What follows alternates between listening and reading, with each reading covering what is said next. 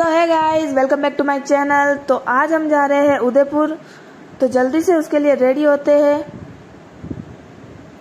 मैं उदयपुर अपनी एक फ्रेंड के साथ जा रही हूँ, क्योंकि हम एक साल से नहीं मिले थे तो मैंने सोचा कि यार मिलते हैं और उदयपुर घूम भी लेंगे। तो वो आ रही थी अपने घर से और मुझे जाना था स्कूटी लेके नादवारा। जैसे ही मैं नादवारा पहुँची, उसने बोला कि मुझे बहुत टाइम लगेगा तो मैं उसका वेट कर रही थी नाथद्वारा बस स्टैंड पर।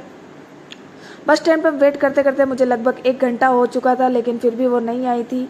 फाइनली वो जब आई तो हम वहाँ से निकले उदयपुर के लिए। उदयपुर और नाथद्वारा के बीच में एक टनल आता है, जिसका व्यू काफ़ी मस्त है गाइज़ आप यहाँ पर आओ तो यहाँ पर फ़ोटोज़ और वीडियो ज़रूर क्लिक करवाना। बहुत सारे लोग यहाँ पर फ़ोटोज़ और वीडियो क्लिक करवाते हैं। और इस टर्नल के जो बाहर का जो व्यू था, जैसे ही हमने टर्नल पार की, इसके बाहर का जो व्यू था ना, वो काफ़ी अच्छा था। आप सोच नहीं सकते, इतना अच्छा लग रहा था ना, पहाड़ों के बीच में।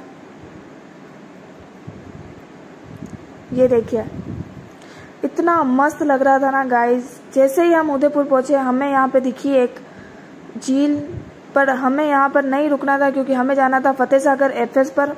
तो हम डायरेक्ट वहीं गए और हम यहाँ पर बिल्कुल नहीं रुके। लेकिन इसका व्यू भी काफ़ी मस्त था। जैसे ही हम एफएस पहुँचे, मैंने लिया मिरिंडा का कैन क्योंकि मुझे कुछ पीने की बहुत इच्छा हो रही थी। और शिल्पा ने लिया फ्रूटी जो कि उससे ओपन नहीं हो रही थी तो मुझे उस पर काफ़ी हँसी आ रही थी कि तू फ्रूटी का पैकेट तक नहीं खोल पा रही है।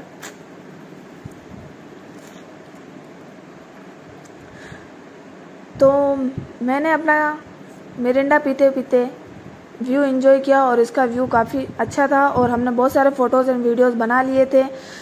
और शिल्पा के पता नहीं फ़ोटोज़ ख़त्म ही नहीं होते कभी। तो ये अपने फ़ोटोज़ खींची जा रही थी। फाइनली मैंने खाया बर्फ़ का गोला और हमें और भूख लग रही थी। तो हमने साथ में ही खा ली पानी पूरी भी। फिर मैंने बोला, यार, बहुत टाइम हो गया है, अब चलते हैं घर की तरफ़। तो उसने बोला, ठीक है, अब निकलते हैं। फिर जैसे ही हम निकले तो रास्ते में ये आ ही गया तो मैं, मैंने सोचा, यार, इसको कैसे भूल सकते हैं कैप्चर करना? तो ये है एफएस का जो सारा जो पानी है, वो इधर की ओर मूव होता है और बाहर की तरफ़ निकलता है।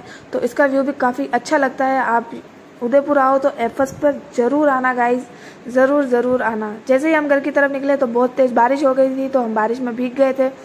जैसे ही बारिश रुकी, हम अपने घर की तरफ़ निकले और नाथ द्वारा पहुँचते ही मैंने शिल्पा को ड्रॉप किया बस स्टैंड पे।